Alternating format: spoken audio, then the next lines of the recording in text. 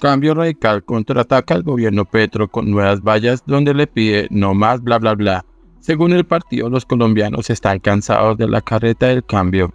El partido tiene una nueva estrategia para cuestionar al gobierno.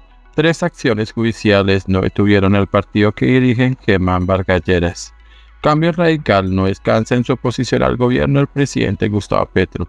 Este lunes 4 de septiembre el partido político que dirige Germán Vargas Lleras confirmó que tiene lista una nueva estrategia digital y publicitaria en contra de la actual administración nacional. Habla nuevas vallas en las principales ciudades del país. Además, música en las estaciones radiales a ritmo de champeta donde se cuestionan las principales acciones de la Casa de Nariño. Los colombianos están cansados de la carreta del cambio no más cortinas de humo para ocultar gravísimos hechos como el dudoso financiamiento a la campaña presidencial o su nula ejecución. Desde Cambio Radical decimos, hashtag, no más, bla bla bla, informó la colectividad a través de sus redes sociales. Hay cambios que no sirven, que son puro bla bla bla, no cumplen con lo que dicen porque es puro bla bla bla. Queremos a los que de verdad trabajan, los que de verdad trabajan, los que cumplen lo que dicen y no andan de bla bla bla. Dice una de las canciones que pondrán a robar por las emisoras del país donde cuestionan al gobierno. Sabemos que los que hacen, los que hacen porque les nace, vamos a buscar un cambio, pero cambio radical, finalizan.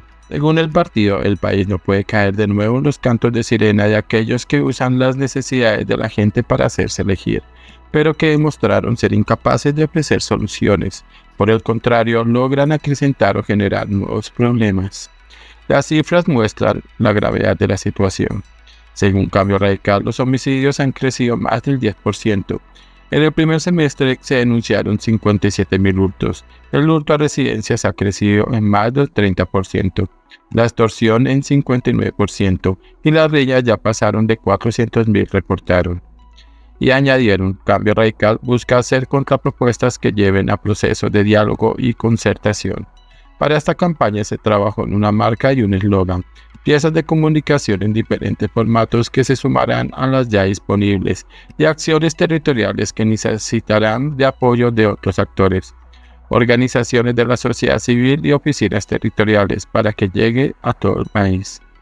Esta es una nueva campaña que lanzó la colectividad después de salir bien librados de dos tutelas y una demanda ante el Consejo Nacional Electoral y la Justicia Ordinaria por parte del Pacto Histórico, cuyos quejosos querían, a través de acciones legales, que retiraran la publicidad en contra del presidente Petro.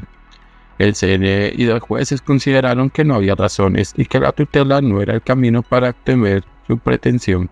Germán Córdoba, director de Cambio Radical, dijo en su momento que el pacto histórico no tiene autoridad moral para presentar quejas sobre la publicidad que desde Cambio Radical estamos realizando y la noticia de los últimos días lo ha dejado claro, como el ingreso de dineros ilegales y el no reporte de otros ingresos superando topes a la campaña Petro. Nuestra campaña es respetuosa, frentera y consecuente con nuestra postura como partido de oposición. Nosotros no les pagamos a bodegas para que ataquen o agredan por redes sociales. En nuestro mensaje solo damos a conocer los resultados que ha tenido el gobierno del cambio un gobierno desconectado con las necesidades de los colombianos, la inseguridad desbordada, la canasta familiar por las nubes y el desempleo en aumento, concluyó.